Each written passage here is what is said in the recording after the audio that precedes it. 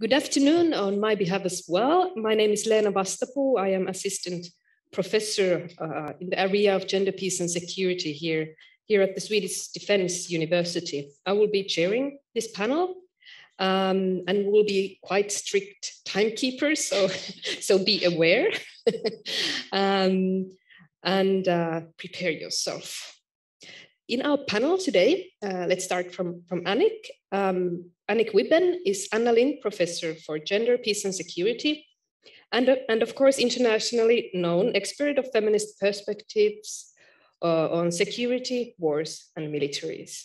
Welcome, Annick. Um, Clare Hutchinson, uh, whom we have a very, very um, special um, delight of hosting today, is an expert in women, peace, and security with over 20 years of experience in this arena. Clare has, for instance, worked as NATO Secretary General Special Representative for, for Women, Peace and Security, as well as, uh, as well as gender, gender advisor with the United Nations for over a decade. So huge, huge experience here. Well, you are warmly welcome. And last but not least, we have Magnus Christiansson, Senior Lecturer in War Studies here at the Swedish Defence University. Um, Magnus is an expert of defense policy, uh, Baltic Sea security, as well as NATO. Warm welcome, everyone. So in this panel discussion, we will have three, three larger questions um, and about five minutes per person to answer these questions. Um, do notice, please notice that there will be a possibility to ask questions as members of the audience um, after the panel. Um, so, so keep that in mind while you are listening to our uh, panel members. So let's go to the questions. Um, if we can start from Annick and then Clare and, then Magnus. So if we, um, if you consider your area of expertise, um, how do you see the current international response to Russia's aggression and the ongoing war in Ukraine? Thank you, Leena. Uh, also should mention Leena is part of the gender, peace and security team here at the Swedish Defence University that is co-organizing this event. So um, thank you for accepting the invitation to be our moderator. So I have a lot to say. I'm going to try to stick to five minutes, but um, I think one of the things that is really important um, from my perspective here, or from maybe a broader feminist perspective, is that um, you know while we have seen sort of a variety of feminist responses um, from around the world, from you know abroad in Europe as well, um, I want to highlight a couple of things that have come from uh, local and regional feminists um, in Ukraine, because um, a lot of the response that has sort of transpired maybe internationally has been a little off, I think. Um, and I think this is partly because feminists in general have a hard time actually dealing with war. Um, we can talk more about that. Um, of course, feminists have been very good at sort of pointing to the gendered underlying causes of war, the human consequences of war, um, how militarisms, plural, are gendered, um, how gendered and sexualized violence is a really sort of, yeah, sadly important key recurring part uh, of war and, and sort of beyond war more generally. Um, but I think one of the things that has been missing a little bit from the international response has to sort of take into account also the, the sort of ways in which this is a context of what we might call broadly Russian imperialism, right? So a decolonial perspective has been missing. And this is something that a lot of feminists from the region, from Eastern Europe more generally, and also um, some of the Nordics have been pointing out. Um, so I think that's that's sort of a it's been striking for me to see how this international response, international feminist response, has been not really intersectional, even though we've had so much, um, you know, so many conversations about. So, what are feminists from Ukraine and from the region saying? First of all, they are saying, help us defend ourselves.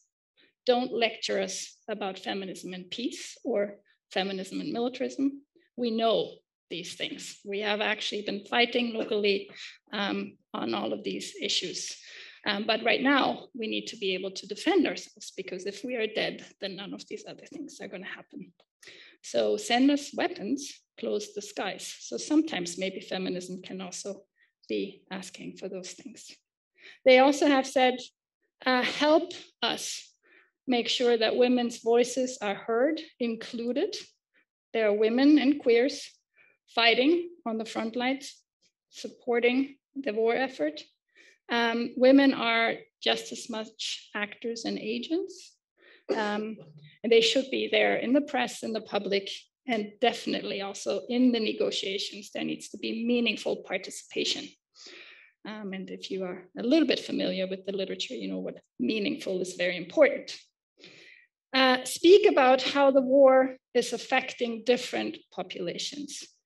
Um, women, gender non-conforming people, old people, young people, people from different communities such as the Roma people, um, people who are displaced internally in Ukraine, people who cannot move because either they are in towns under siege, like Mariupol, um, or cannot move because of their gender, age, etc., etc. Um, and help us document human rights violations, help us get attention out about sexualized violence. This has become, of course, an issue um, after Bucha was liberated in other places, but this is something that has been known. It has been ongoing um, for the last, you know, since, since Russia first um, went into Ukraine. Um, there are consequences, immediate consequences, need for reproductive um, rights for care. Um, so this needs to be taken into account in the humanitarian um, response as well. Um, but it also, there needs to be a reckoning uh, in terms of criminal court, um, etc.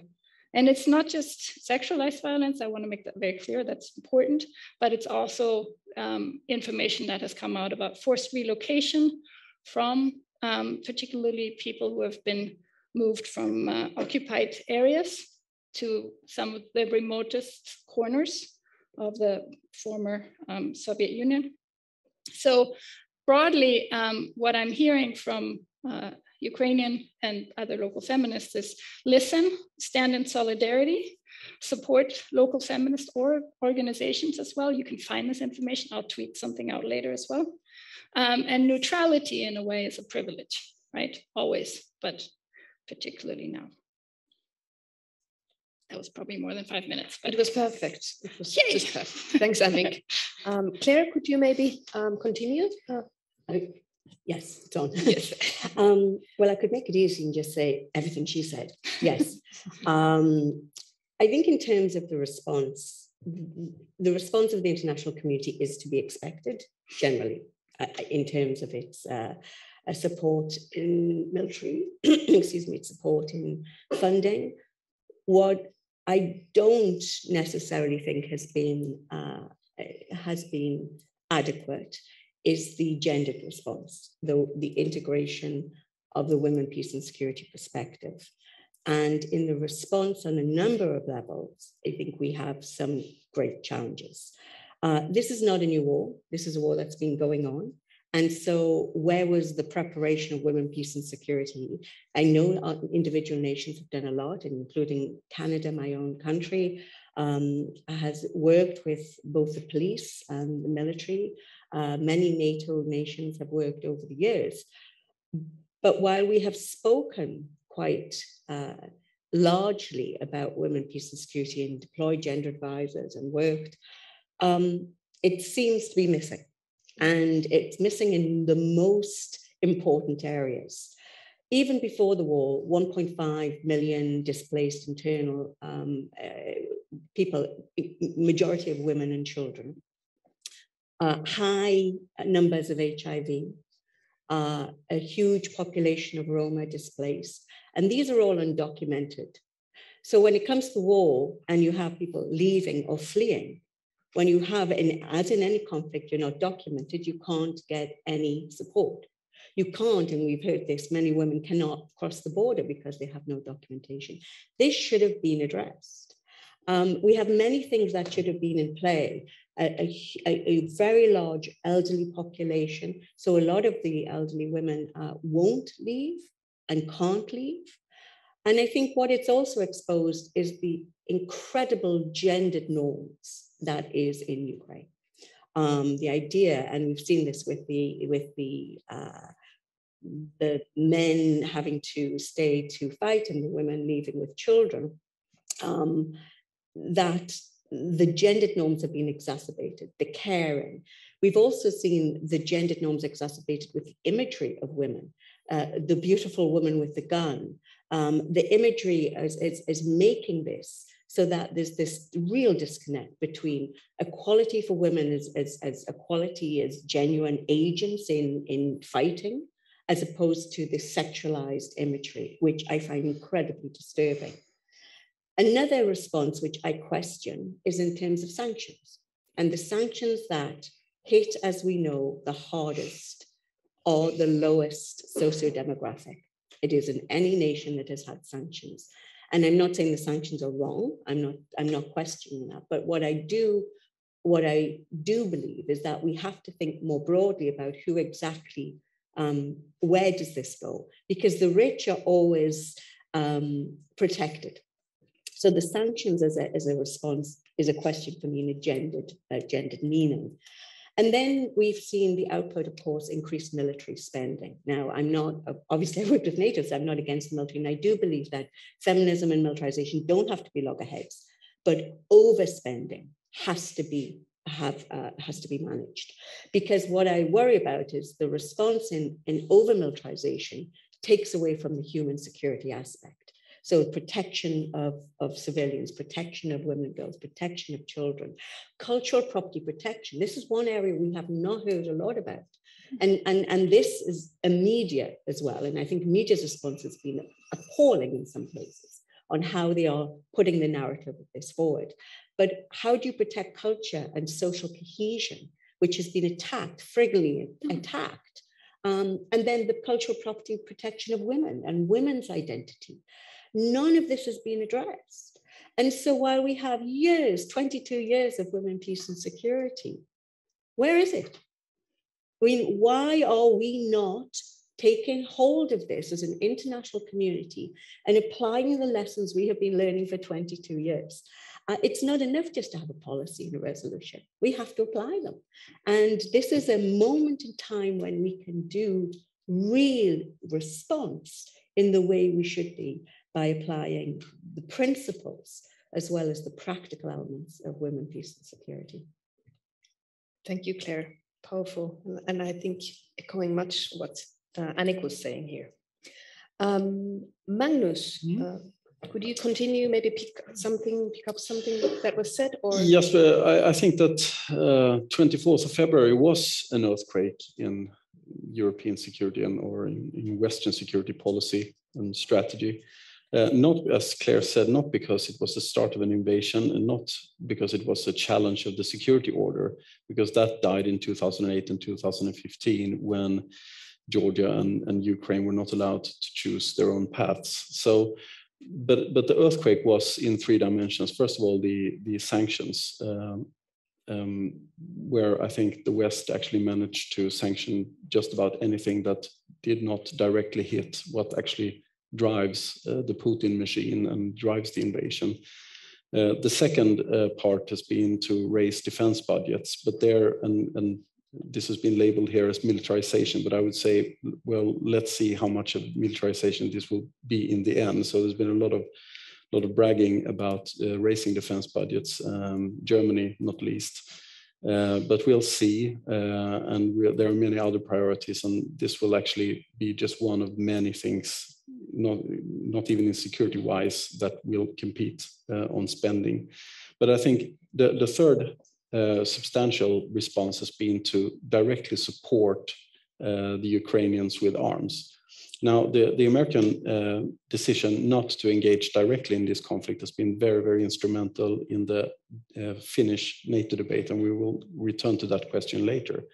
Uh, but it has also shown that the Americans have started very slowly um, because of fear of escalation. And the Europeans actually were very hesitant, but American leadership so, soon started to pour in more and more weapons. And now even the Germans are, are handing in um, um, Panzerhaubitz, which is the kind of heavy equipment that you need in order to retake your, you reclaim your country. Now, so there's clearly sort of a, a mission creep here. And I think there's, this situation is very dangerous for, for two reasons. There's a book called Sleepwalkers, which is about the First World War. And I think if you look at the grand strategic picture here, there's a lot of sleepwalking uh, in all the major capitals here. In, in the United States, there is this idea that uh, the United States can be standoff uh, to make a clear distinction between its engagement and, and further escalation. There's a sleepwalking in, in, uh, in that uh, in Moscow, they believe that they're winning this war. Uh, and in China, uh, there is this idea that, or this hope that this will just go away and that China will not have to take side in this conflict. And so it has all the recipes for for uh, something very very nasty. So that's that's one thing. The other thing is is of course how do you respond to an escalation? And here I believe that it's it's one thing to emotionally be be appalled by all the images and send in the weapons, but what do we actually do if there is a serious escalation? No one wants to discuss this in Brussels. Uh, if you, it's still, if you want to clear a room, uh, if you want to discuss weapons of mass destruction. So there's basically no policy, but a lot of emotions. And I think this is that's a sort of a total recipe for a very dangerous situation. Thank you. Anything you want to pick up um, on what was said here to the first question? Do you want to comment or add? Um, there's lots to say, but um, if you yeah, just yeah, no, no, I think let's just go on and then yeah. we, can, we, can, we can. Okay, yeah. Okay, let's move on to the second question, and then we can we can continue the debate um, afterwards. Um, just a bit of a background to the next question. Um, we have been talking about so-called women, peace and security agenda here. Maybe not all the audience members uh, are aware of this WPS agenda um, which is abbreviation for Women, Peace and Security Agenda. It was launched 22 years ago, as Clare indicated already. Um, uh, in 2000, uh, Security Council adopted um, Resolution 1325, uh, which marked the, the beginning of, of uh, WPS agenda. In the following year, Security Council of the United Nations adopted nine additional um, resolutions um, the, the, the aim was to complement and clarify the agenda. So altogether, these 10 resolutions now uh, for the past 22 years um, are called WPS agenda. What is the aim of these, these uh, resolutions is to encourage equal participation of all genders in international peace and security institutions and practices. So everybody must be involved uh, in this in the tables of power and, and uh, in, in these discussions. So the question is, um, when it seems highly likely now that Sweden and, and Finland, my country of origin, Finland, will join NATO in the near future, uh, we can quite confidently say this, I guess. Um, could you please deliberate on the WPS agenda of NATO? Is there such an agenda in NATO? How does it differ from the UN context. Um, what are some of the challenges of, of the WPS agenda in NATO? Um, and maybe Clare is the natural okay. natural uh, person to start. All right, thank you. Thank you.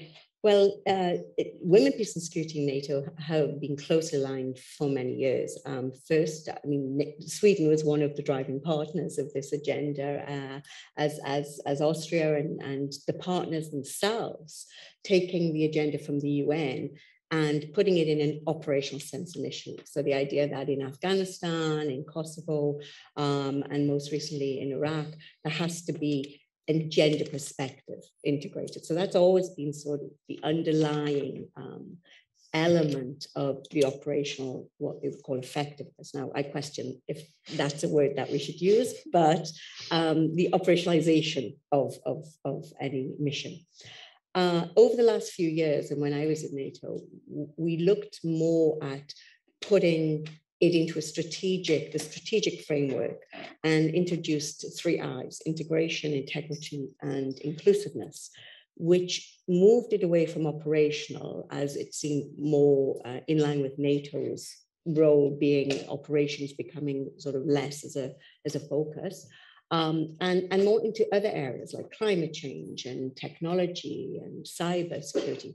Because as the as as security changes and has had, and, and up to recently with, with uh, what's happened with Russia, we were looking very much at hybrid warfare. We're looking very much at different ways, you know, attacking grids, um, looking at terrorism, looking at how climate change is a security factor. And how does that affect women and men differently? And everything affects women and men differently. And security affects women and men differently. But the problem is, over the years, many people seem to think that a person, a man and a woman, are affected in the same way. And they're not. And so, if we want to have robust populations, and this is as Sweden moves forward, and I think you know NATO and the UN have a lot to learn from from Sweden. I mean, the first country to have the feminist foreign policy. There's a lot that can be uh, as a lesson learned. But I think what what can be brought that can be more robust is looking at what I would call the next generation of, of gender and making sure that it's integrated in the security framework of total defense, of total security. How do we all understand security? Women understand security differently. Women see uh, tanks and armored cars as insecure. Men see them as secure. How do we incorporate that into defense planning? How do we look at what does security mean if I live by a river? Men and women see that different. What does it mean to have soldiers deployed near to you? And so we have to take all of this into account if you want to move forward in any security dynamic, if you want to move forward in any security environment. But as NATO grows in both membership and as security changes, um, and just because we now have some over, you know, a traditional kinetic engagement doesn't mean that the hybrid or the, the, the security threats have changed other uh, terrorism is still there, cybersecurity is still there, if not more so. Um, we have to make sure that we have robust responses. And if half the population is missing, from a military or from a response, if half the population is not being engaged in what do they think is fearful or threatening, how can we do a, an adequate, beyond adequate, a successful security strategy? How do we protect our people? And this has been the problem because we've only ever been engaging half the population. And then you go beyond this and look at LGBTQI. How do we make sure that those in other groupings also feel secure? Um, and we have to do a lot more work in this. So NATO has taken this on board. Different to the UN because the UN is a bigger, um, a bigger organization the UN peacekeeping has a different response. UN is also not run by consensus in a way uh, that, that uh, the 30 nations and maybe 32 in the near future all have to agree on everything. And in the UN, when you write a policy, you can write a policy without taking it to the Security Council, for example. So you have a lot more leeway in the UN. But the two organizations, as well as the EU and OSCE and others, um, I think have come leaps and bounds over the last 22 years. Uh, the challenge is how to move past just talking about numbers of women into real integration, um, because it isn't just about getting a woman at a table. It is much more than that. And I feel sometimes we are um, hitting the low hanging fruit in all organizations uh, and saying the right thing, but not always doing the right thing. So, so deeds, not words. Yes. Thanks, Clare. Annick, maybe you can continue yeah. as an expert of WPS agenda. Yes, and I'm going to be a little bit critical, um, but you know, your last your last sort of point was definitely also where um, I think I, I wanted to maybe start, which is the sort of disjuncture between the rhetoric right? And the reality. And that goes for NATO mm-hmm. as much as for many other organizations in terms of commitments to the WPS agenda. Um, you know, the you know, there's a lot of nice documents. Um, NATO has stuff on its website that looks fantastic. Right. and then you start to scratch the surface, and then you're like, okay, so what just happened here? Yeah, okay, so there's some numbers of some women somewhere. And, you know, somehow it's going to make operations more effective or not not so much anymore that we're moving away from that slowly but it's still very much like you know, also something that we see floating around here um, in conversations um, so i think that the question of what would it really take right to to sort of move beyond um, those kind of rhetorical commitments and also i think to some extent um, really think about you know many of the contradictions that are within the WPS agenda, and, and there's a huge body of feminist literature on this. Um, for all the students out there who want some uh, references, uh, hit me up. Um, which basically points out also that you know some of the things that we cover under um, this agenda are actually at cross purposes with each other, right? Um, and of course, feminist, uh, I think, analyses of, of war, militarism, etc., have always pointed out that you need to really do this contextually, right? As I was sort of starting off with my remarks today, like we we have to think about what is happening in Ukraine within the context of uh, sort of Ukraine's history, the history of the region, you know, sort of the responses from the West are striking in that all of a sudden, for example, Ukrainians became white, right? So, I mean, this is sort of in the refugee uh, conversation, oh, well, Poland, right? We will take these because they are like us, which is, you know, very, in this case, very close proximity, et cetera, et cetera. But that, that hasn't really been the way, you know, the, the West has really seen Eastern Europe, right? This was not necessarily um, the response, for example, when um, we saw people fleeing from the mm-hmm. former Yugoslavia, which, by the way, is another one of these blind spots in that, oh, the first time we have war again in Europe. Well, no, actually. So I think we, we forget sort of the history and the context um, way too often. Um, and I think that uh, here, NATO and the UN share some some things in, in terms of being sometimes too universalizing um, and um, not having enough maybe regional expertise as well, um, specificity for what is needed. And of course, I actually remember uh, with, don't remember exactly when, but being at NCGM and we have representative here with, with a mission from Ukraine, right? So, I mean, the, there, it's not that these things haven't been happening either that you know the ukrainians haven't also already been training in a way um, and implementing parts of this agenda. But i guess the question is which parts? Um, what does it really mean? Um, what does it mean at, at different times in in in a conflict or in and sort of um, whether it's a, you know is it different when we're talking about an actual war kinetic engagement or is it um, different when we are sort of as you were saying well, while you were at nato you know you were sort of not really thinking about those things specifically. They seemed a little bit further away maybe. Um, and at this point um, i think feminist critiques maybe of the agenda in general have gotten a little bit louder have, have been pointing to this sort of which we've known all along. We've known this for the past 20 years. Gender does not just equal women, right?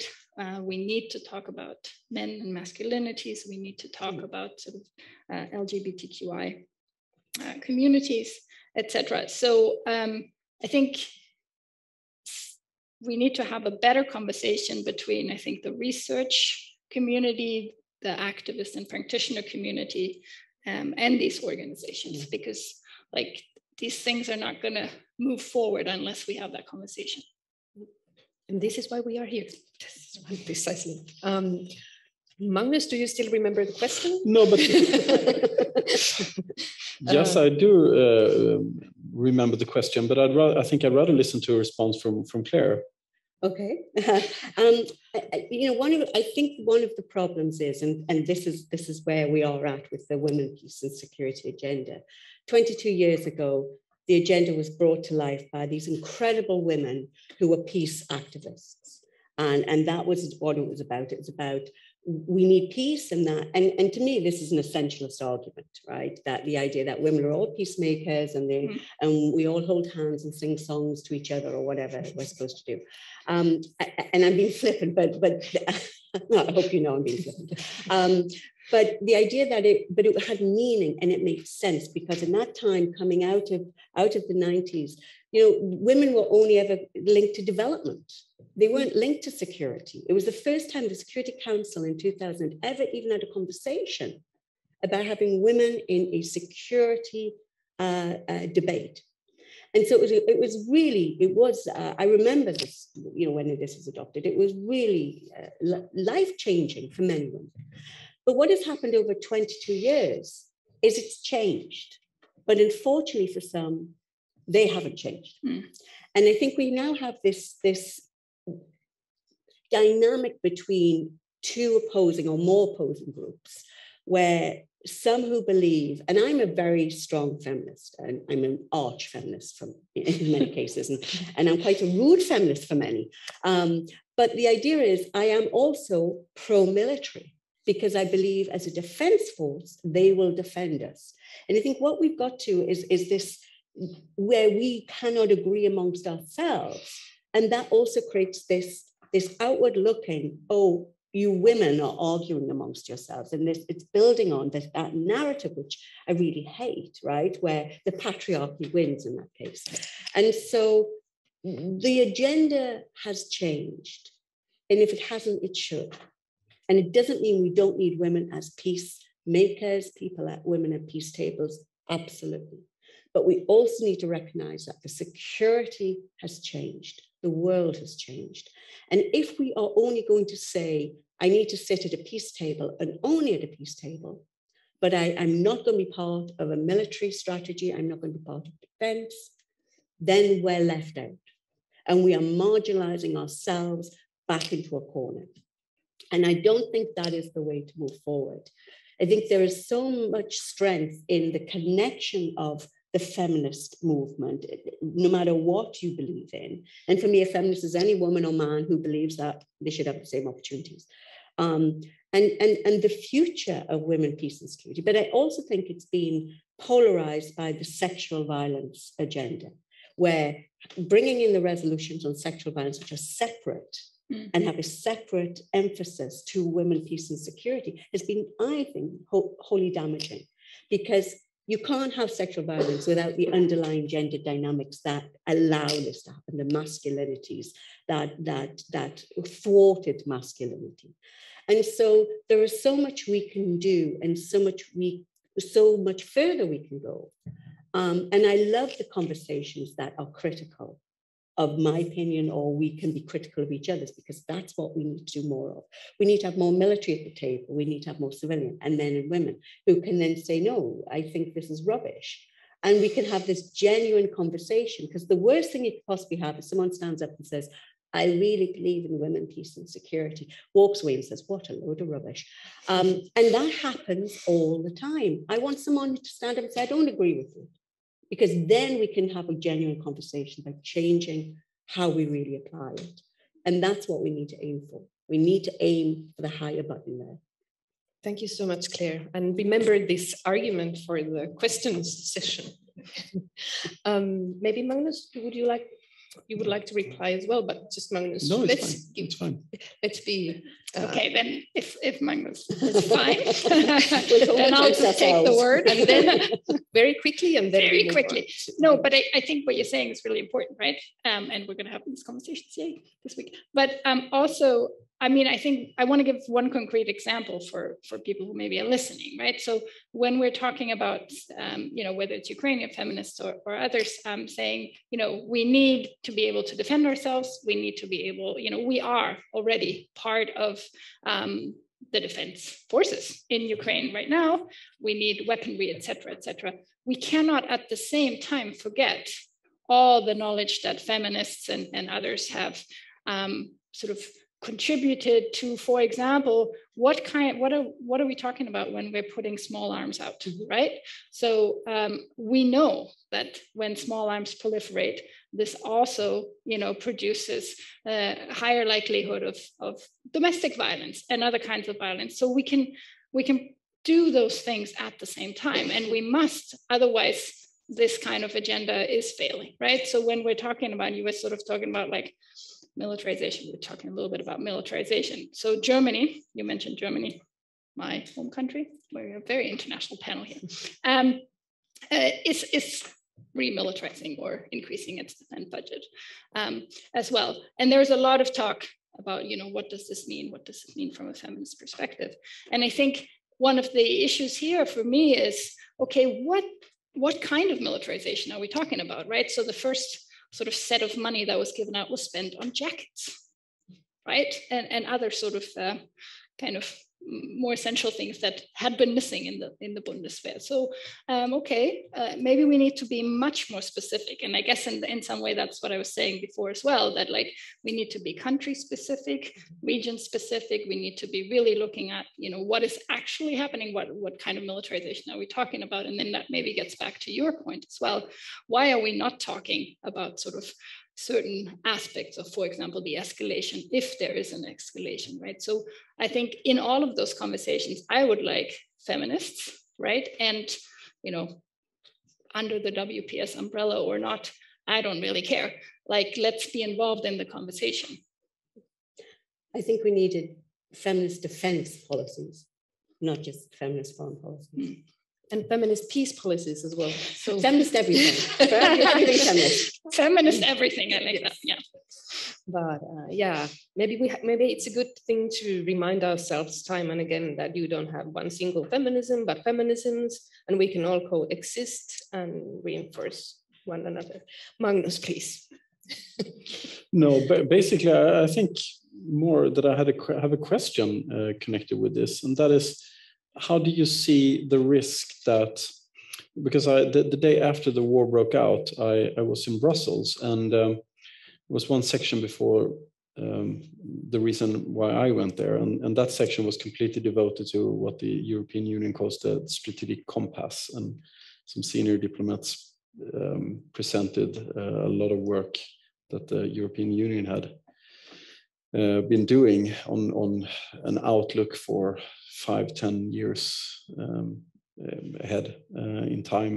And they didn't comment on the fact that this escalation had actually started. And I, it was one of the things that I, I brought up, and that was that maybe this will actually make everything that you've been do, doing, not everything, but many of the things that you've been doing very, very secondary or very, very peripheral.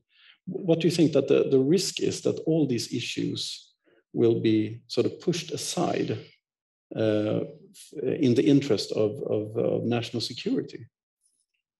I would say it's extremely high, sadly, right? So I think that in general, um, and this, you know, has been something actually that yeah, feminists and others have flagged again and again that in the moment when sort of the crisis hit, right? So the sort of crisis mode of politics usually mm. means that and these other things are pushed to the side. And we can see it even, and we'll talk about this, I think, in the last question, but like in the debate in Sweden about mm. NATO, right? So in the moment when when you're talking about um, crisis politics and mm. something must be done now, mm. right? For some reason, I don't think it has to be that way. It's not like the experts aren't sitting around and you could call us up, right? Mm. But it, for some reason in that moment, all this other stuff gets forgotten, right?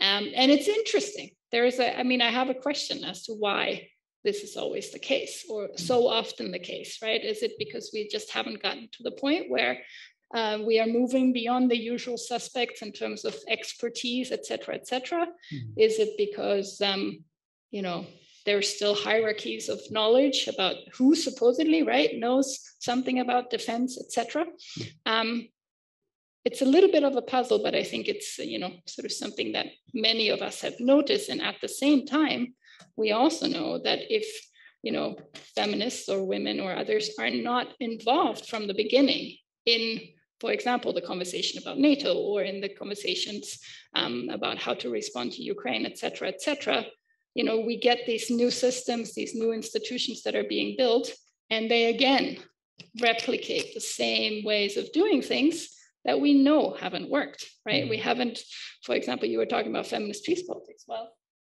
we time's up. um, can you hear me with the other mic? Yes. Okay uh, where was I? Oh, you were talking about feminist peace politics. So, you know, clearly we haven't solved the problem of war, well, maybe we should try having some more feminist perspectives. Maybe that would work in the future. Who knows, right? We need to try it before we can get there. And this is where I want to now take my panel back to myself. Yes. Um, so taking everything that has been said here and and and then uh, drawing from what Annick has said, if women, if if everybody, if all the genders are not included in in the processes that lead up to uh, all kinds of agreements, such as should we join NATO and what are what are the consequences and what what are the um, conditions. Uh, so the question is, um, how could Sweden contribute to the WPS agenda in the context of NATO? Um, what, what is what are the additional value that Sweden could bring? Um, and now, if if and when we are at the negotiation stage, um, should Sweden, for instance, set certain membership conditions related to the WPS agenda uh, so that gender would be uh, mainstreamed from the start and we wouldn't be out from the from the important decision making uh, procedures. Magnus, I want to start from you because otherwise, well, I, otherwise we just take over. I think it's a the, the, the question is very typical of, of the discussion um, the Swedish NATO discussion, and that is that we we now are entering a, a discussion about membership, but, but, there's all all these appendices uh, all these conditions for uh, NATO membership, and I think that would be that would be counterproductive in the, in the sense that if you want to get, have uh, objections along the way, that is the shortest way to to to go. Um, so, um, however, on the inside, uh, it, it is, of course, important to have a policy. Uh, I mean, the, the big discussion in Sweden has always been uh, what is NATO, uh, what is good about NATO, and, and should Sweden apply? But that is, of course, to most people that you, you speak to in Europe, I mean, the, the big question is what kind of policy should you have on the inside? Mm-hmm. What are your priorities? What do you want with, the, with, with your NATO membership? And in that sense, of course, gender is, of course, uh, I would say, a very natural part of the of the Swedish package, so to speak. And I think also that is what is expected uh, of, of many NATO countries that we we bring this perspective in international politics. Now, I think that uh, a lot of um, uh, um, a lot of the, the, the Swedish Swedish positioning as a partner has been very much to to confirm our own identity. I believe that one of the big revolutions if, if Sweden joins NATO is that we will need to listen to other countries. Uh, uh, firstly, the Nordic countries. Uh, what security needs do they have? And that will be, be, be a part of our priorities and our, our, planning. But I think the, the, the great plus is here that um, at least Finland, Finland um, uh, Sweden, and, and, Norway have tended to have very like minded positions when it comes to, uh, among other things, gender issues. So I think that would actually sort of strengthen um, uh, sort of a, a, united Nordic dimension in NATO would actually strengthen the the the um, the, um, the, discussion about gender issues uh, in the alliance. Mm -hmm. and I and I think uh, that that would not be any surprise to anyone in, in, Brussels. I want to have, and I want to pose an additional question to you um, before we move on to Clare. Do you think that Finland and Sweden should have gender as part of their there, there must be some some negotiations going on between between the two countries right now. Should that be part of the discussion package, uh, Magnus? Well, I mean, the, I mean, the, uh, how do you apply for membership? I mean, yeah. uh, you need to be a democracy. You need to be a part of the North Atlantic uh, Treaty area, and you should contribute to security. Um, then there is a MAP process, which is a sort of a what, what reforms do you need, uh, and then you're invited, and then there's ratification after that comes all the discussions about you know wh- what do you really want when with nuclear issues uh, what, what, do you what, what, kind of agenda are you, i mean it's a it's a big smorgasbord in the in the alliance mm-hmm. uh, so um, the best thing to uh, meet objections in Europe and to get very critical questions is that you say, "Oh, we want to join, but we don't want to. We don't want to defend Turkey." Uh, what do you think the Turkish uh, Parliament, what the Turks will say about that? I mean, it's a so the, uh, if Sweden wants to join, um, um, you, you, join in a, an alliance with a package. It's a it's a short document. Um, every every Swedish citizen could read it, and then afterwards you will have a discussion about NATO bases, uh, about your policy for nuclear issues, gender issues, and so forth. but that's uh, an agenda forming. And also, I think that our security elite needs to get in the game and to understand how NATO works from the inside. Uh, and they better do it quickly because already in June, there's going to be a very fundamental discussion about the future deterrence policy and basing policy in the alliance. And if we don't get our act together, I think we're going to be sidelined by many other countries that know that knows how to play the game. Wonderful insights. So we need to learn the game, the rules of the game. You know the rules of the game, Clare. um, I, you know, I, I, I think Sweden has already contributed. First of all, the first gender advisor to, uh, to um, Allied Command operations was Swedish. Um, the head of um, uh, the head of department for training uh, uh, we have there as uh, as NCGM. Um, there's already a huge contribution, and and in fact, you know, Sweden as well as the other partners have adopted the NATO policy on women, peace and security. And when you do that, means that you are obliged to implement the three I's, right? So, so there's already an alignment with, uh, with the policies and principles of women, peace, security in NATO. Um, I, I think one of the dangers, though, as, as and I, I say this from an example of one of the very forward-leaning nations who had not had not put gender into one of their their their documents for the very simple fact because it was so common and that they didn't think they had to bring it up mm-hmm. and i think that's that's a danger and that's a flag to to remember because i do think that sweden is very advanced in comparison to to some nations and the idea because it's common to you um, you may have to be one of the leading nations who keep pushing because you do need to keep pushing. This is not organic. Mm. And that goes back to your question before. Um, you know, in the UN, they still call gender, even today, they call gender and protection of civilians and children and armed conflict the Christmas tree mandates. They still talk as it an add-on to the real issues. And, I, and that is not unusual in any organization. So um, unless it's in the strategic uh, concept for NATO, mm. unless mm. it's in the baseline documents and it's fought for still to this day, mm. we can lose it.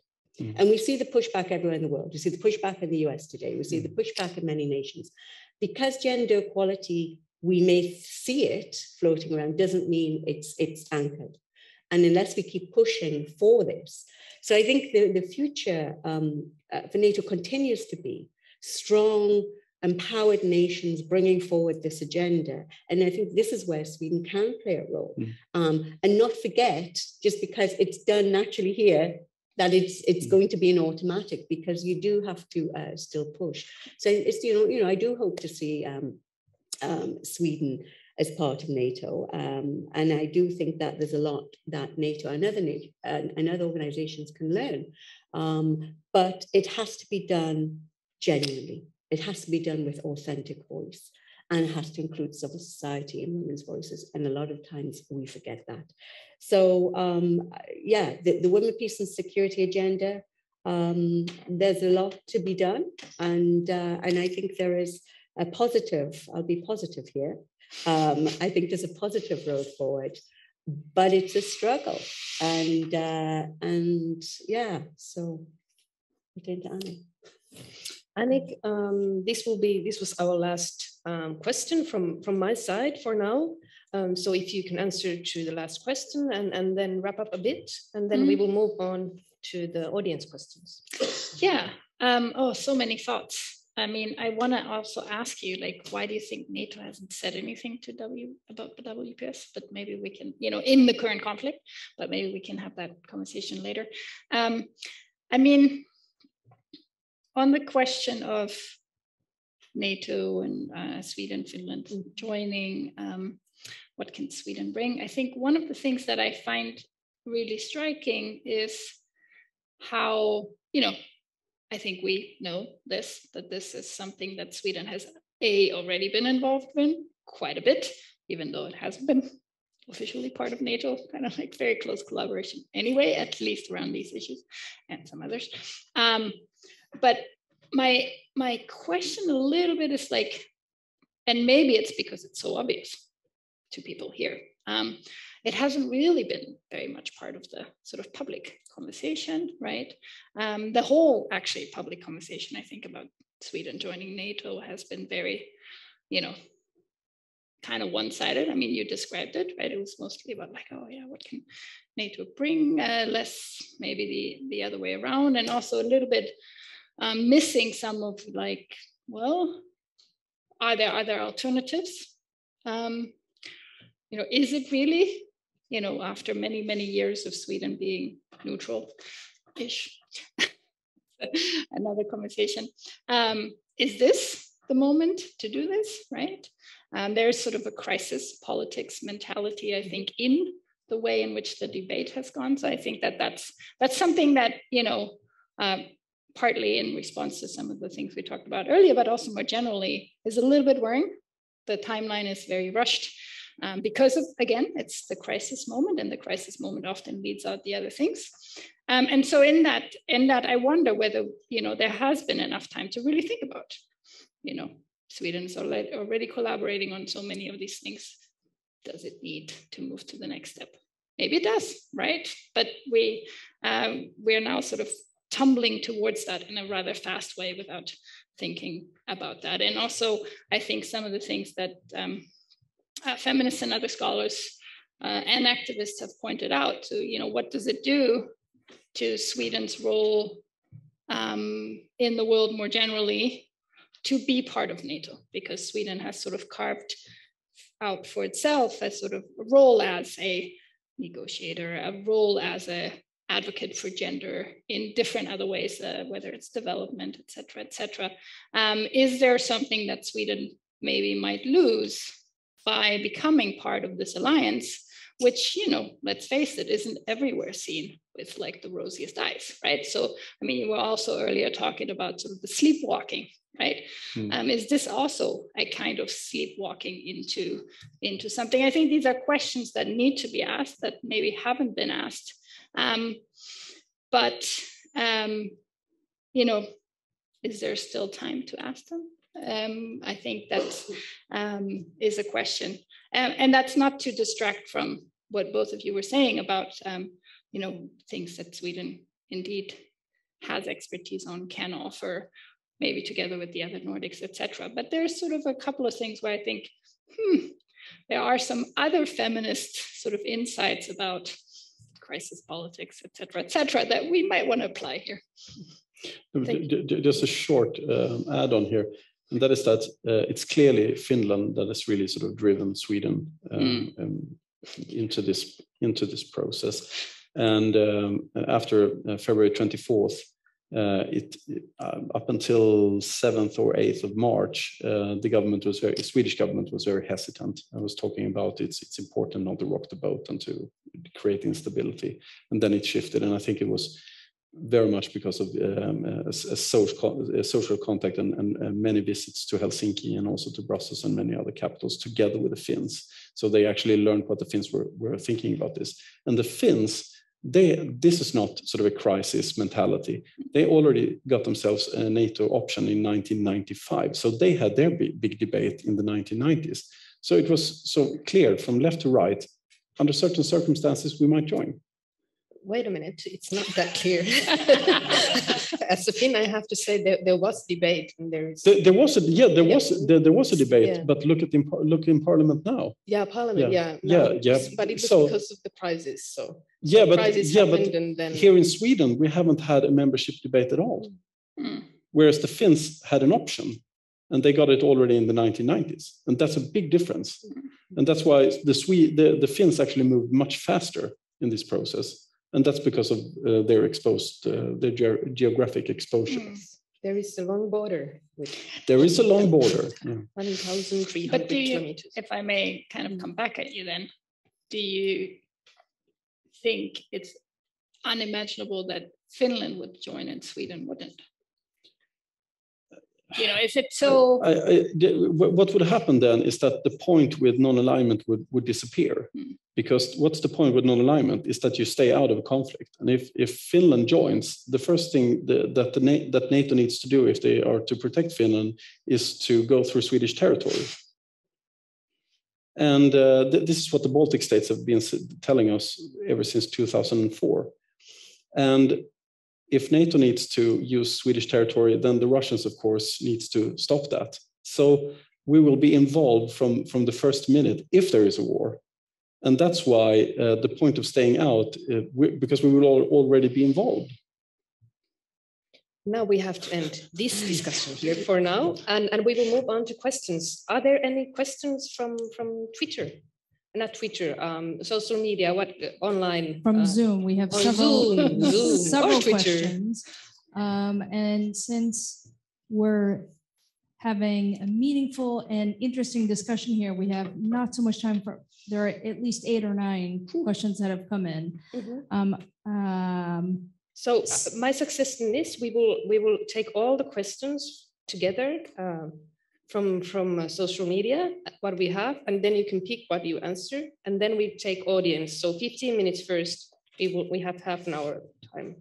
we have half an hour left. And So we can, if, if there is, if somebody has written the questions already to, they're, they're long questions, so I'm gonna start at least with, okay, okay. And then you Um, can answer whatever you want uh, from these questions, and then we will move on to, to the audience. so several of them are taking up this issue of, let me just see, about what is missing. Uh, Let me just get A question for Clare and Annick. What do you think should be happening now that is not happening yet or being properly implemented in the WPS agenda? Um, Are there more that you? There, there's several more. Um, Just see, I'm trying to cluster them. Mhm. Why is there such a silence on WPS from the international commu- community, given its relevance here, including from NATO, but also from the member states and partners such as Sweden? With, with feminist foreign policies? And what are the implications of this silence for, at this critical time for the agenda itself? Let's start Let's- from these start- two questions. Start with that, So- and trying to put it in the Ukrainian perspective. Yes. Uh, Please. Okay, so um, the, uh, sorry, the second question was about, sorry, jet lag. What was the second What, question? what should happen now? Okay, Yeah. Uh, so I, And I, I think what, you know, what we're seeing missing, and, and I mentioned this before, the commitment of, of the feminist foreign policies, excuse me. Um, looking at the, the, the sex, the trafficking, the trafficking of women and girls that we're seeing increasing amount. Now, Ukraine has always been um, and had both as a transit point um, as well as an initiation point, uh, trafficking of, of women and girls. And this is this has always been an issue, and it's it's sort of exacerbated through the conflict. We're seeing now the results of that. We're seeing women and girls trafficked as they're going over the border, um, because of the gendered traditional gendered norms. And women are on their own; they're much more at risk. They're seen as as more vulnerable. Um, so we need to be doing better at, at, in terms of border control. I, I believe. Um, but also in terms of documentation, like I mentioned, the undocumented, what is happening to them? Um, and this is outside of the traditional responses uh, with, with, with military and the protection of women and girls from sexual violence. Of course, what is happening now, and this is where I think, and I disagree that the international community has been silent. I think the UN has been very engaged. I, I think better late than never, the, the Secretary General, UN Secretary General who, who went to Ukraine. But they've already started the collection of evidence, um, the collect, collecting evidence for the ICC, I hope. Um, uh, but at least looking at the crimes against what could be either humanity, but also the, the rape of not only girls and women, but also men and boys um, as we've been hearing. And, and my friend Pramila Patten, the SRSG for, on um, sexual violence and conflict, was just there recently. Um, we need to be intensifying this. It's great to see that both Canada and the UK have announced that they're, they're looking at investigating these crimes. We need to elevate um, because rape and war is not just a byproduct of war. It is a strategic uh, targeting of, of people's bodies, men and women and boys and girls. And we need to be elevating this as, as a crime against humanity. Um, and so we can do more in that area. We can do more in terms of humanitarian assistance. We can do more in terms of the humanitarian corridors.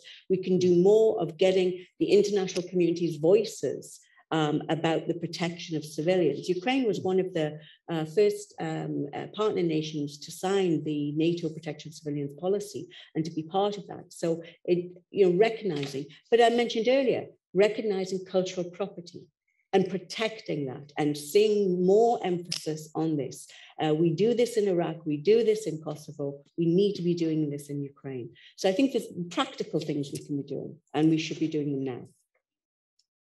I think Thanks you already covered quite a lot, but I would probably sort of add something I started with as well, which is to support the local uh, women-led but also feminist organizations that are actually working on the ground. Um, a lot of them are providing, for example, that sort of first um, help when when a crisis situation hits, whether that is um, you know sexualized violence or or other things, right? Elderly care. I mean, there's a lot of need for for medical uh, assistance as well. Um, I think the other thing that has come up a couple of times in conversations is um, uh, access to, to shelters and how that is organized. Um, and, you know, I think there is a little bit of an issue here also in regards to the trafficking, because like how, how is that organized when people are leaving both within and, and without, so internally and, and externally.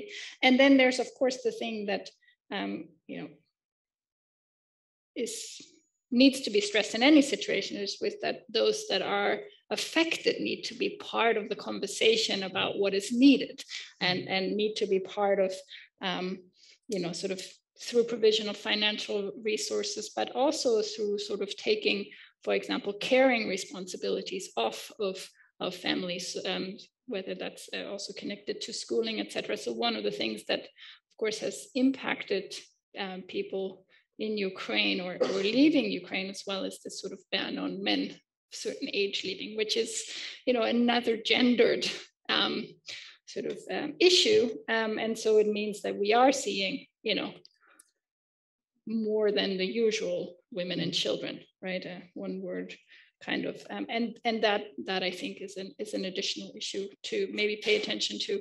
Um, there is a recent report for those listening um, from uh, that UN, the UN did together with CARE, Rapid Gender Analysis of Ukraine has a lot of good recommendations, um, definitely worth uh, looking at.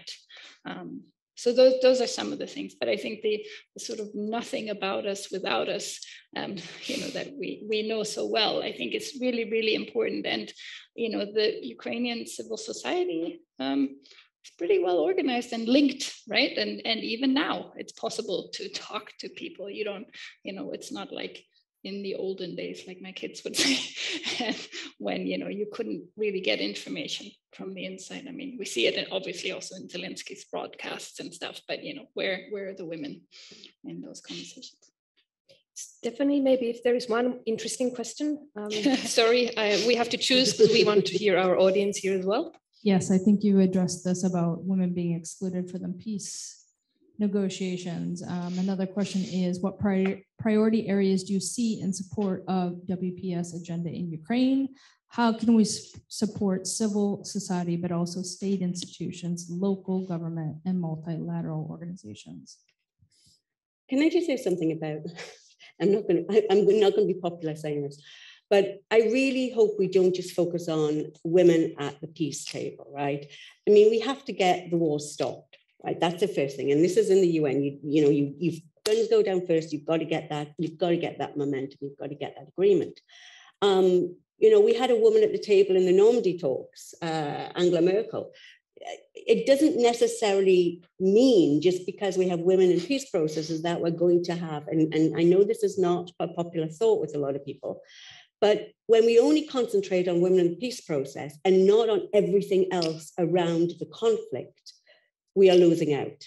Because not always do women represent everything else or other women when they're at peace processes, right? And we've seen this in many peace processes throughout the years. Yes, we need civil society voices. Yes, we need those who've been affected. But just a random woman at a peace table is not going to change the trajectory of peace. And, and this is what we always come back to. Um, we need every man at that table to be recognizing what happens to women.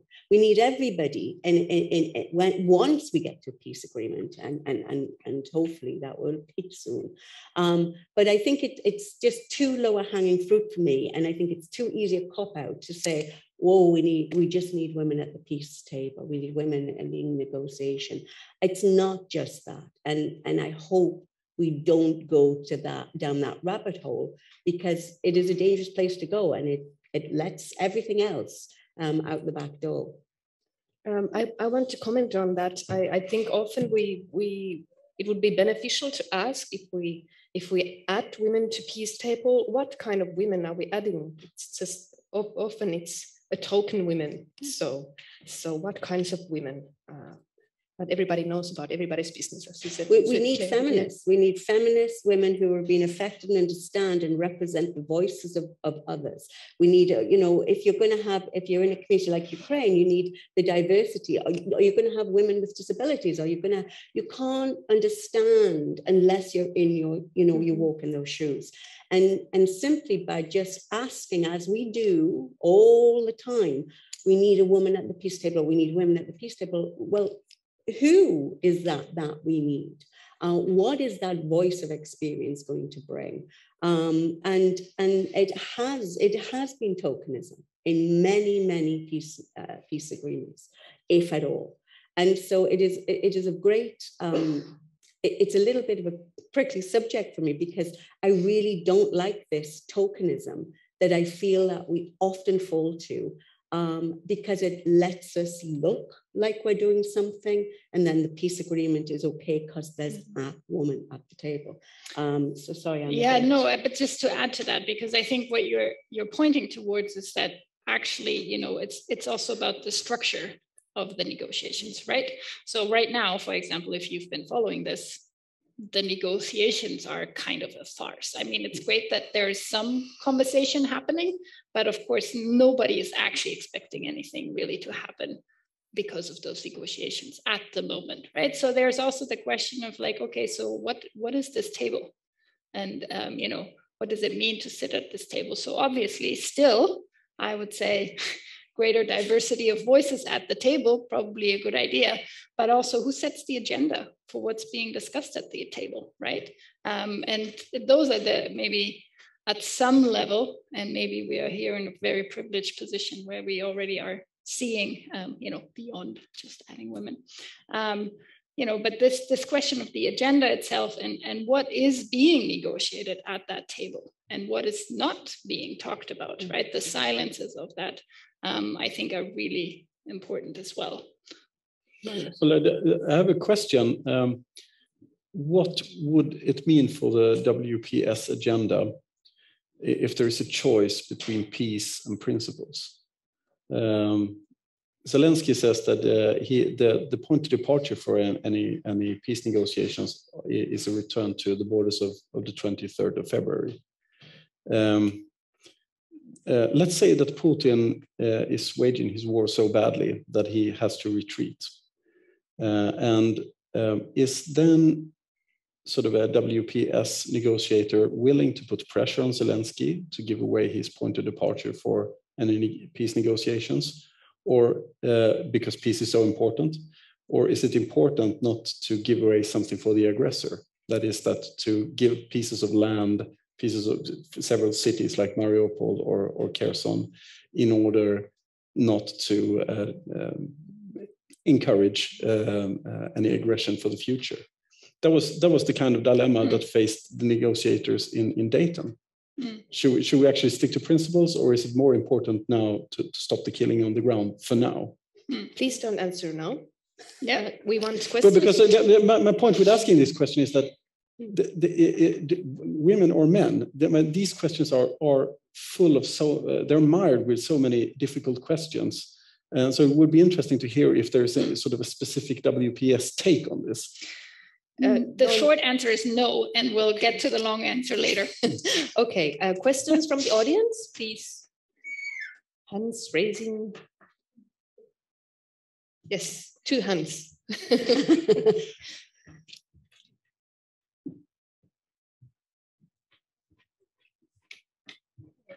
Uh, I have three questions, and it's uh, your answers. I don't think it's on. Hello. Ah. Yes. Merci. I, I have three questions, and it's your answers. So one is for you, the man. Magnus? Magnus. Magnus. Magnus the man. Yes, Magnus the man. I was thinking that you said it's important that the expectations on gender, if we join NATO, it will come.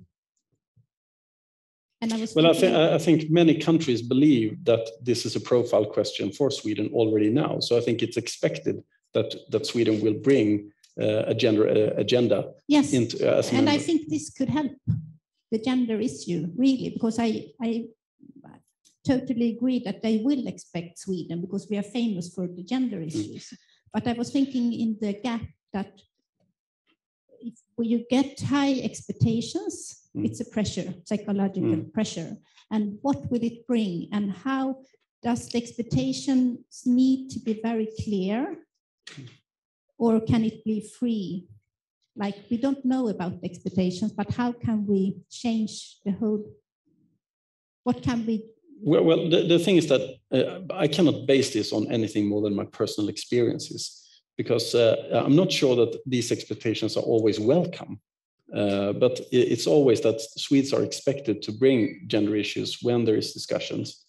Um, so they're not always welcome, but, I, but, but you know, as Clare put it, uh, it's, it's important that we don't take it for granted when we enter those negotiation rooms, uh, because even though we're expected to bring them, maybe we, we take it for granted. So that was just my point that the, the, it's not always welcome to bring up these issues. I, I Here, here comes the Swedish representative again. Oh yeah, and there's always some gender stuff. No, I think it could help. I have two more questions. Uh, maybe maybe one more question and then we choose one from you two Yes, and then we move quick, on to the next. Uh, next one uh, more. It's for you if, about the German jackets. and no, I think it's important because now we change the clothes in the army and we will be more fitted for women. I don't know how it's in Germany, but I was thinking that the coat and the fitting is really important for the brain and to be part of the military in the future. Maybe this would help the gender issue too, maybe. I don't know. Let's take the next Yeah. question. Thank you. And then we can uh, please. Uh, Can, can I just, can I just add on to about that? yes, NATO? please. Yeah. Um, the expectation that that if Sweden joins NATO and then NATO becomes more, you know, gender friendly, whatever. Remember, it's a consensus-based alliance that Sweden would be one of 31 and Finland 32. And so they would only have a, a 30th voice. So they can't just suddenly say, we want this to happen and you know we're going to have 50% women at work because you have all those other nations i think the expectation has to be lowered in terms of what Sweden would be able to do in NATO uh, vis-a-vis the, the gender, absolutely be influential because of the wonderful work that's been done. But how much can you shapeshift an organization when it's based on consensus and only consensus? That's a difficult, that's a difficult one. Wonderful point. Please. Thank you. Really close to your sheet. Yeah. Thank you very much. Uh, Paula Ivanovska from the Nordic Center uh, on Gender and Military Operations. As uh, Ms. Hutchinson mentioned, we are the NATO department head for gender and military operations. I think I wanted maybe just to quickly note that there is an architecture in NATO regarding gender perspective. There's a fairly robust and recently updated uh, strategic command directive on gender perspective. And there is a responsibility that goes to all the way up the chain of command on implementing that. Now, the question of implementation might be, of course, different from the theory, but just maybe to put that out there that we would not be coming into a vacuum when it comes to gender. Um, I was curious, perhaps primarily from your perspective, Ms. Hutchinson, but of course, everyone else as well. I think when we speak about NATO and WPS, I mean, for the past 15, 20 years, that has been about implementing or exporting it perhaps to a country further away, say Afghanistan. And now it is coming closer to home. Uh, but we're still talking about the WPS agenda, what they should be doing in Ukraine. So I guess I just wanted to have your take on once um, this turn to collective defense really kicks in, what would that mean for NATO and the countries in Western Europe when we start, or when we have to start thinking about that more seriously here at home? Thank you. Um, everybody can um, res respond to this question and I can see there's one. One more? Yes, please, one more. Sorry, sorry, Emma. okay, hello. Uh, yes, thank you so much, everyone. Uh, my name is Emma Fredriksson. I'm a PhD student in gender, peace, and security here as well. Um, and this might be like uh, difficult and very uh, abstract and out there question, but um, I've just been thinking a lot about the future and like worry, obviously, as everyone else, about the future and like where are we going with everything. We're talking about more small uh, small arms and large small arms and large weapons. Uh, what's called? Uh, South uh, in Ukraine, we are talking about the increased defense spending in all of Europe and this like uh, hostility rhetoric and everything. And where will this end? And now also the sanctions that Clare also mentioned. And what will this mean for the future of our relationship with Russia? What will this mean for the Russian population? Um, and how, and now also like maybe then joining NATO, um, how do we see our future? What future are we building? Um, so how, like in what way would you say it's possible to have a, a women, peace and security perspective also on our way of dealing with our enemies in quotation marks, but also in relation to Russia. I mean, Russia will be there. Um, so how should we actually think about also the future and the possibilities of creating a sustainable environment to live in? Thank you, Emma. Um, we will answer to this question in order. Let's start from Magnus, Clare, and then Annick, and then we will continue discussions after, after the panel. So please, Magnus.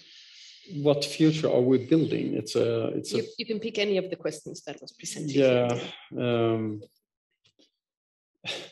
well, I, I, don't think I have much to add to the first question. So um, I think your question is about the response that the, that the Western world is doing right now, and I think uh, it's it's moving from sort of a, a very all responses are per definition that you react to something. And I think it was a very emotional reaction. And I think it was driven by a fear of, of splintering the alliance. So I think that was sort of primary, keep the alliance together and, and uh, make sure that the, that the, uh, the Russians don't crush Ukraine. So that I, th I think we've sort of passed through that phase. And now I think there is a strategic discussion of what kind of uh, sort of next phase response will be how much complicated arms can we actually meaningfully export to the Ukrainians because they, they demand a lot of training and, and, a lot of exercises. Uh, how severe should the sanctions be? How much of a price are we in the West willing to pay for that? Uh, not much so far.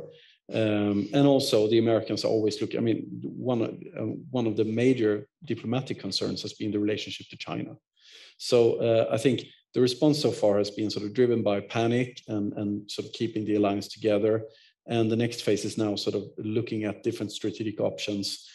But I, what, I'm missing is some kind of discussion of, of, a, of, an end game, because unlike you, I don't put quotation marks when it comes to enemy concerning the, the current regime. Uh, um, so uh, there, there needs to be some kind of end game with the, the, the, Putin regime. And I see not a lot of, not terribly much discussions about that. Um, and that worries me a bit because if you don't have any ambitions, if you don't have any, any clear outlook of where you want to go, then you don't really have a strategy. Thank you, Magnus. Uh, so I'm sort of going to put some of these questions together. You know, um, the same as in we didn't go into Afghanistan to save women and girls, and uh, and you know I think likewise with Ukraine. Um, I think there's a different, you know, the different mechanism of what we're looking to deal with. Women, peace and security has always been an out there, right? The idea that we are going out to save, uh, uh, what did they used to call it? Uh, uh white men saving brown women. You know, the, the idea that this, uh, this over there um, attitude. And now national action plans, as you know, are changing to be to more about here and now and us. And of course, what is shocking about Ukraine which we saw in Bosnia, we saw in Kosovo, but it's in our backyard, right? And, and applying women, peace and security here and now is, is the challenge. And, and that's why maybe we've forgotten a little bit. Maybe we, we think, you know, the, the rules apply on women, peace and security because it's more European. Um, would we have the same oversight on women, peace and security if it was in an African or Asian context? No, we wouldn't. It would be very different. We would be forcing this conversation on one piece of security. So I think there's a little bit of a disingenuous sort of approach to this. Um, but I think we've recognized that we have to do better within ourselves, both in, in the, the sexual harassment happening in our militaries, as well as the, the, the part, intimate partner violence that's happening, as well as the lack of women's empowerment, the pushback on sexual reproductive health, all of this. Um, we recognize that the political is local, right? That we are part of this and that women's security applies to us. What is going to happen in the future? Well, I can guarantee that you know R Russia is not going to become the center of gender equality expertise. Um, their understanding um, and and targeting um, of, of women and girls, but their understanding um, of, of gender equality is very, it is very gendered and it has been. And while, yes, it may have been uh, within socialism a very forward leaning and women working, there still is a very, very traditional gender type. And Putin has been, you know, the, the, the, he has pushed back hard on rights of LGBTQI as well as on, on, on women's rights. So I think we're not going to see any change in this. Mm. So what happens? And that's just a big question mark. Um, you know, where do we go? Annick, one minute. sure. Uh, let me just wrap it up in one minute. Okay. I, I think, I mean, I, I like the questions because I think they're they're going across the spectrum, right? We are talking about uniforms and it is still fascinating. I think, was it Switzerland, something, some military recently issued the, for the first time, like female underwear too. It's hmm. like, you know, women in the military. It's like, yeah, you might need a bra actually. Um, so we're like on all levels as far as that is concerned. And, um, you know, Sweden not being an exception here either. Um, the jackets were not gender specific. They were just like for cold weather. So that that's, um, that's a whole other issue that under sort of preparedness of the Bundeswehr. Don't tell them. Um, but um, the I think the the sort of question of like the outward lookingness of the Women, Peace and Security agenda and then the national action plans has been discussed uh, widely um, by feminist scholars and and uh, and others. Uh, very well known, and I think you're right. We are sort of moving a little bit. I think we can do a lot more in terms of also, and we have a project here looking at the Swedish Armed Forces from this perspective um, a little bit. Um, so I, I, think that that um, definitely is something that um, is kind of happening. That shift is happening. I think the next shift that needs to happen, and I want to mention this before we end, is uh, the sort of also uh, looking at, you know, like taking into account a little bit more um, the sort of intersectional um, perspective here and whether that's, um, you know, sort of I mentioned age, for example, and you mentioned as well the sort of huge elderly population um, in the Ukraine, um, but also the sort of question of imperialism, which have, we have forgotten about, right? And colonial uh, relationships locally and, you know, uh, in the neighborhood as well. So, so you know, we need to kind of get a little bit away from the idea that we already know how to do this, right? Um, like who is this we and what exactly do we know actually? So, you know, that's a perfect ending for maybe, you know, an academic. we need to know more. it's always good. I think it's a very good ending. We can say that more discussion is needed and For dialogue sure. will continue among scholars, among yeah. practitioners, policymakers, researchers.